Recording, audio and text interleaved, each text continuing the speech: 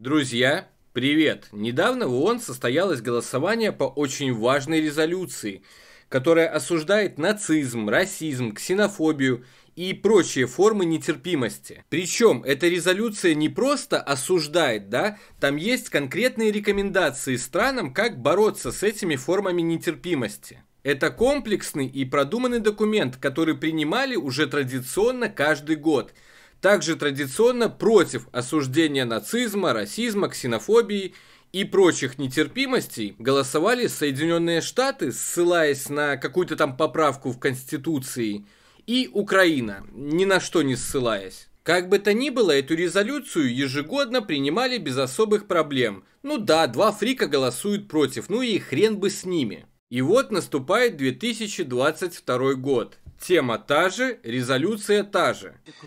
Предлагаю комитету возобновить рассмотрение пункта 66А.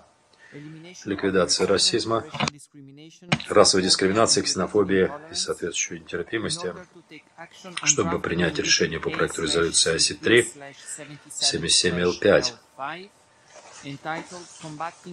Борьба с героизацией нацизма, неонацизмом и другими видами практики, которые способствуют эскалации современных форм расизма, расовой дискриминации, ксенофобии и связанной с ними не, нетерпимости. Текст резолюции не менялся, и она полностью деполитизирована. Там нет упрека в адрес каких-либо стран, там нет обвинений. Там обозначены проблемы и обозначены пути решения этих проблем. Господин председатель, в 1945 году государства-члены антигитлеровской коалиции, именуемые Объединенными Нациями, одержали великую победу над нацизмом. Основой национал-социализма была идеология расового превосходства и человеконенавистничества. Благодаря той победе была создана нынешняя ООН, а также современная система поощрения и защиты прав человека. Решение же Нюрнбергского трибунала юридически закрепили завоевание победы над нацизмом.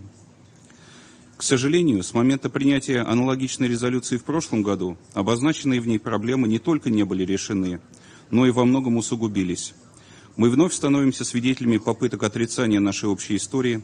Все чаще звучит российская и ксенофобская риторика, а также призывы избавиться от мигрантов, беженцев и чуждых элементов. Во многих государствах обыденным делом стали проявления исламофобии, христианофобии, афрофобии и антисемитизма – Невиданный размах получила объявленная в отдельных странах война с памятниками в честь борцов с нацизмом и фашизмом. По улицам городов в самом центре Европы проходят марши неонацистов и факельные шествия в честь тех, кто активно сотрудничал с нацистами и являлся соучастником их преступлений. Более того, таких лиц все чаще пытаются возвести в ранг национальных героев и героев национально-освободительных движений, подают их в качестве примера для подражания молодым поколениям. Разве это реализация права на свободу мирных собраний и на свободу выражения мнений? Нет. Налицо откровенные попытки фальсификации итогов Второй мировой войны, цинизм и кощунство по отношению к тем, кто освободил мир от ужасов национал-социализма. Более того, речь идет об уголовно наказуемых деяниях по смыслу статьи 4 Международной конвенции о ликвидации всех форм расовой дискриминации.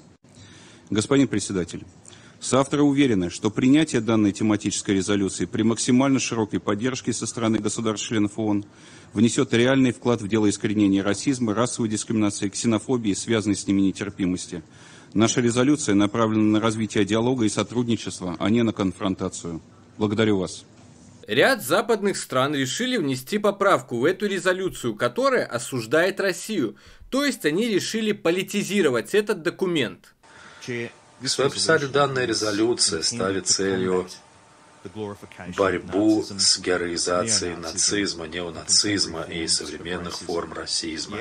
Однако Российская Федерация поступает как раз э, наоборот. Вот так вот. О том, кто как поступает, я уже делал видео на Boosty.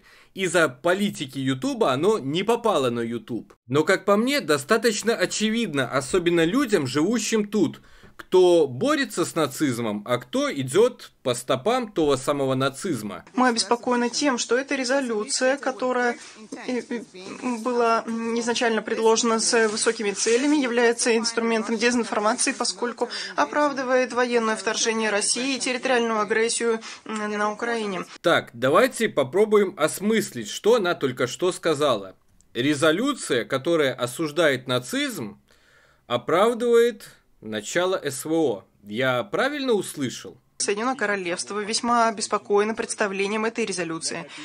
Давайте, не, не сомневайтесь, Соединенное Королевство решительно осуждает героизацию нацизма и неонацизма. Но хотя эта э, резолюция пред, утверждает, что стремится к бороться с неонацизмом, на самом деле она оправдывает территориальную агрессию России путем распространения лжи и искажения истории. Да, я правильно услышал. Резолюция, которая осуждает нацизм, призывает с ним бороться, оправдывает СВО. Только теперь она искажает историю. В 2021 она не искажала историю, в 2020 не искажала историю в 19, 18, 17, 16 и так далее. Текст резолюции не менялся, но именно сейчас Запад прозрел. И такие, блин, ребята, так она же искажает историю. А что случилось?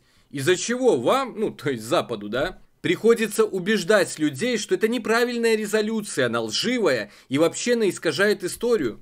Что случилось? Даже не знаю.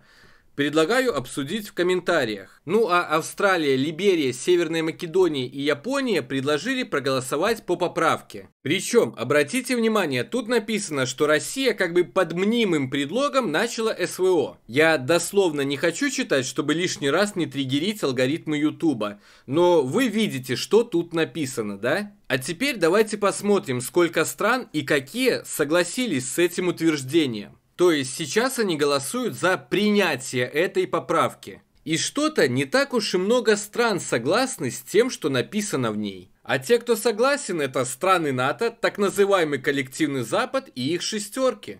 Остальные решили воздержаться или вообще проголосовать против. То есть не захотели осуждать Россию в контексте борьбы с нацизмом 88 стран. Интересно, да?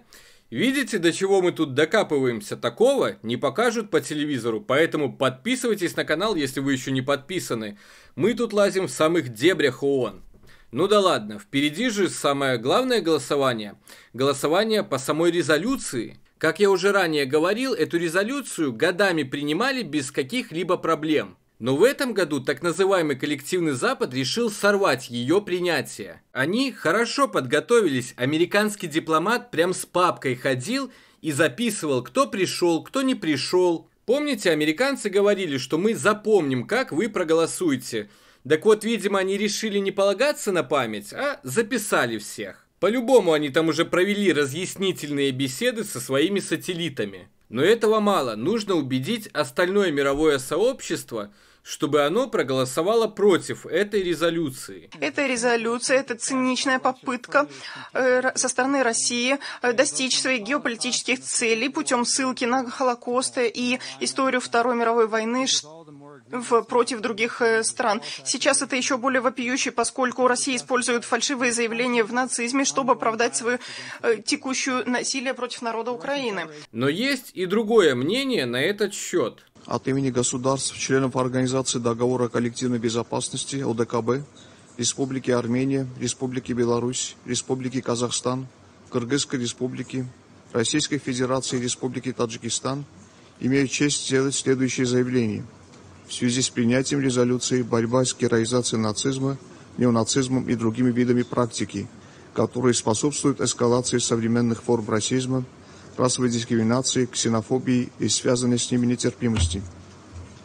Данный документ пользуется полной поддержкой наших государств.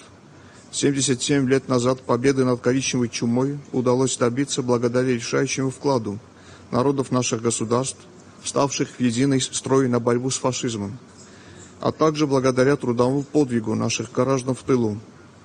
В те суровые годы ярко проявилась беззаветная самоотверженность и патриотизм наших соотечественников – ценой своей жизни освободивших народы Европы и других стран мира от нацистского порабощения. Свой вклад в победу над человеконенавистнической идеологией внесла и антигитлеровская коалиция, ставшая уникальным примером объединения стран с различными политическими системами во имя общей цели. Сохранить правду и память о бессмертном подвиге – наш священный долг и действенный инструмент предотвращения возрождения нацизма – Нельзя забывать о том, что современное поколение существует благодаря той победе и пользуется ее плодами – Категорически не приемлем и решительно осуждаем целенаправленные политически ангажированные кампании в отдельных странах по переписыванию истории, пересмотру и искажению итогов Второй мировой войны, включая попытки возложить равную ответственность за развязывание войны на нацистских преступников иностранной антигитлеровской коалиции. Выражаем глубокую обеспокоенность участившимися попытками и случаями осквернения или разрушения памятников, воздвигнутых в честь тех, кто боролся против нацизма в годы Второй мировой войны, а также незаконной эксгумации или переноса их останков.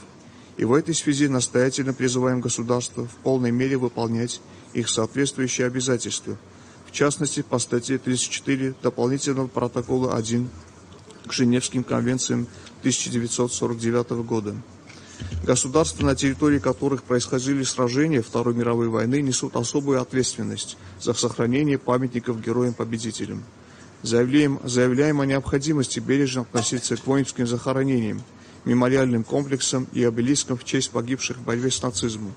Вандализм в отношении таких памятных объектов не имеет оправдания. Помня об уроках прошедшей войны, полагаем, что сегодня важно всеми силами отстаивать цели и принципы закрепленные. У него закончилось время, ему отключили микрофон, но посыл предельно ясен, да? Есть позиция западных стран, есть наша позиция. Ну а вот, собственно, само голосование. Зеленым отмечены те, кто, несмотря на американскую кампанию, объявленную против этой резолюции, осуждают нацизм, расизм, ксенофобию и прочие нетерпимости, связанные с этим. Красным отмечены те, кто внезапно понял, что это лживая резолюция, что эта резолюция подменяет историю. Да и вообще, осуждение нацизма оправдывает СВО, что бы это ни значило. Ну а желтым отмечены те, кто просто отморозился. Несмотря ни на что, резолюция была принята. И на самом деле там даже 106 голосов за. Мали просто не ту кнопку нажали. Ну, не суть. Западные страны после голосования начали там бухтеть, что мы разочарованы, да и плевать, что они там бухтят. А вот что сказали представители России и Белоруссии после голосования, давайте посмотрим. Там короткие выступления, но, короче, сейчас увидите. Господин председатель, прежде всего мы хотели бы поблагодарить, искренне поблагодарить все государства-члены, которые проголосовали за принятие данной резолюции, которая имеет важное значение для всей системы ООН. Мы выражаем благодарность тем, кто проголосовал за и тем самым осудил наиболее вопиющие проявления героизации нацизма в мире, а именно разрушение памятников в честь воинов-антифашистов, марши неонацистов и их приспешников – запрет символов в ряде государств, которые ассоциируются с победой во Второй мировой войне, возведение нацистов и коллаборационистов в ранг национальных героев. К сожалению, этот список неполный, а, его можно продолжать. И в этой связи очень важно, что государства-члены, несмотря на все оказанное на них давление, несмотря на все попытки политизации этот вопрос, проявили принципиальность и поддержали принятие этой резолюции. Хотел бы также заметить, что итоги голосования по этой резолюции в целом и по поправке, и по резолюции в целом э, только подтвердили э, озвученный нами ранее тезис о том, что цель поправки, которую выдвигали некоторые государства – является попытка срыва принятия данной резолюции. Поскольку, поддержав принятие своей поправки, они все равно потом взяли и проголосовали против резолюции в целом, то есть против документа, содержащего их же поправку. Не, не можем рассматривать это в качестве некого проявления конструктивного настроя. Господин председатель, Э, как и другие делегации, соавторов, делегации тех, кто голосовал за эту резолюцию, мы хотели бы сделать заявление о том, что мы диссоциируемся с поправкой, с, текст, с положением, которое было включено в текст в результате внесенной поправки группы государств. Мы эту поправку не признаем, и это положение, и просим отразить данное заявление в докладе о заседании. Благодарю вас. Получается, шах и мат, то, что они там принимали эту поправку, они теперь ей могут просто подтереться, например. Текущий год в Беларуси объявлен годом исторической памяти. А уже менее чем через три года мы все будем отмечать 80-ю годовщину окончания самой страшной в истории человечества войны. Несмотря на прошедшие десятилетия, величие и трагизм тех событий не меркнут в нашей памяти и побуждают нас отдать должное тем, кто ценой бесчисленных потерь и невыразимых страданий не позволил миру погрузиться в пучину боли и ненависти под знаком нацизма. Нацисты последовательно реализовывали на практике теорию расового превосходства. Начав с принятия дискриминационных законов и насаждения ксенофобии, они публично заявили в качестве одной из целей своей политики уничтожение целых этносов – цыган, евреев, славян. Для выполнения этой задачи они создали по всей Европе целую сеть концентрационных лагерей, в которых применялись невообразимые по своей жестокости методы убийств. Зловещим символом человека ненавистнической сути нацизма стал освобожденный советскими солдатами лагерь смерти Освенцим. Всего за победу над фашизмом своей жизни отдали более 60 миллионов граждан антигитлеровской коалиции, в том числе порядка 2 миллионов граждан Беларуси, треть населения нашей страны на тот момент. До недавнего времени нам казалось, что историческое значение победы над фашизмом и истинный дух союзничества никогда не станут жертвой сиюминутного политиканства. Ведь события Второй мировой войны провели четкую грань между добром и злом. Эта грань была закреплена в уставе ООН и в решениях Нюрнбергского трибунала. Поэтому усилия тех, кто сегодня пытается оправдывать или героизировать пособников нацистов – подвергать эрозии память о Великой Победе бесперспективны. Подобная практика уже была неоднократно осуждена аналогичными резолюциями ООН. И сегодня, приняв очередную резолюцию о борьбе с героизацией нацизма, этот комитет еще раз подтвердил непреложный вердикт истории. Нацизму и неонацизму, ксенофобии, расизму и расовой дискриминации нет места в современном мире – Беларусь выступает против попыток политизации данной важной темы и желает сохранить тематический характер резолюции. В связи с чем мы диссоциируемся от чуждого документу оперативного параграфа, внесенного в него политически мотивированной поправкой Л-52.